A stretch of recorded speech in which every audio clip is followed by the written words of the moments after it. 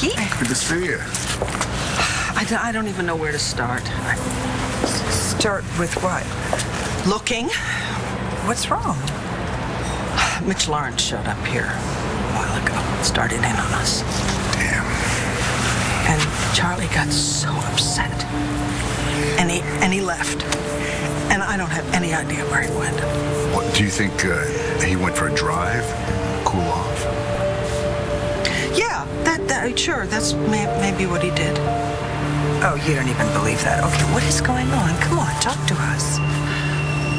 He's he started drinking again. Bury in the sun. Yeah. It's. I don't. I can't even talk about it. Anybody would want to drink after that.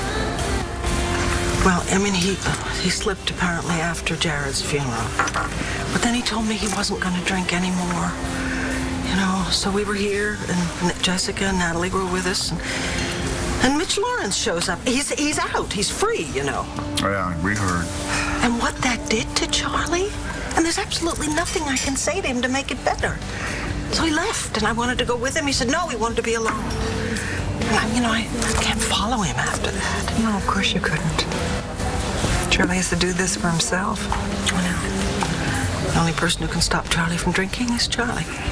Believe that Mitch Lawrence is walking around free. I know. Well, you wouldn't have let that happen.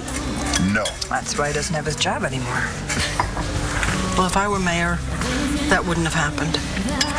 I think that resigning and letting Dorian take over obviously was the stupidest thing I've ever done in my life. Okay, your family needed you, Viki. And besides, who in the world would have guessed that Dorian would let Mitch lose? No, that's too much, even for Dorian. You said that Jessica and Natalie were here. How did they handle seeing Mitch? They were amazing. They were very, very strong.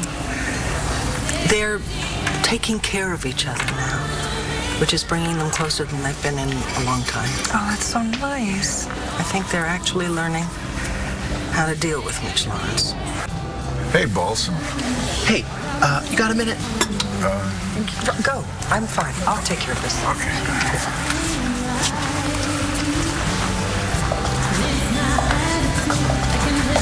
Did you get a hold of Charlie? No, it just goes straight to voicemail. He doesn't want to talk to me. You know, Nora, thank you, but you don't have to hang around. I don't want to ruin your whole evening. Are you trying to get rid of me? Why would I do that? Are you angry at me because I left Clint? You know, Nora, um, your life is your business. Yeah, but you still think what I did to Clint was pretty lousy. Yeah, it was pretty lousy. On the other hand, he was very well aware of the fact that you and Bo were still very close. And he talked to me about it a whole bunch of times before your marriage. And if I'm not mistaken, you were pretty close to stopping that wedding. Yeah, I just wish I had the strength to do it. And maybe Clint wouldn't be so angry with me now and wouldn't be acting the way he's behaving. I'm very worried about him. Well, he's going to need time to lick his wounds, you know. Oh, he's got somebody else to do that for him. Oh? Oh, yeah, cute little pole dancer from Las Vegas, young enough to be his daughter. Really? Uh huh. I got shoes older than her. No, no, no. Nora, I mean, I, are you sure that Clint and uh, who is Kim. she? Kim? Kim. Mm, mm, mm, are you sure that they're together? Oh, yeah. She moved into the mansion with them. Moat and all. Kim, Well, Clint's a big boy. He can take care of himself. Yeah. But he's just bouncing. Well, Nora, you made your choice, you know. And so Clint has made his choice. And now I have to face the fact that Charlie has to make his own choices. We give you a ride home, Viki? Uh, they're about to close, aren't they? Yeah. I think I'm going to stay and wait a little longer. Well, you know what? We can stay with you. Yeah. Uh, yeah. No, I'm not going to let you go home alone. I, I won't be alone, okay? Jessica and Natalie are both at home. I won't be alone. Okay. Thanks. You take care. so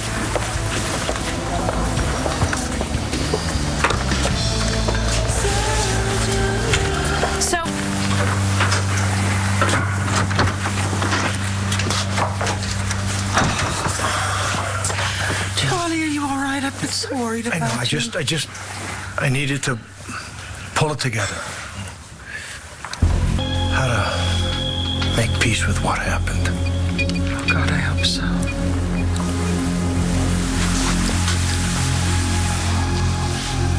We're all gonna get our lives back now.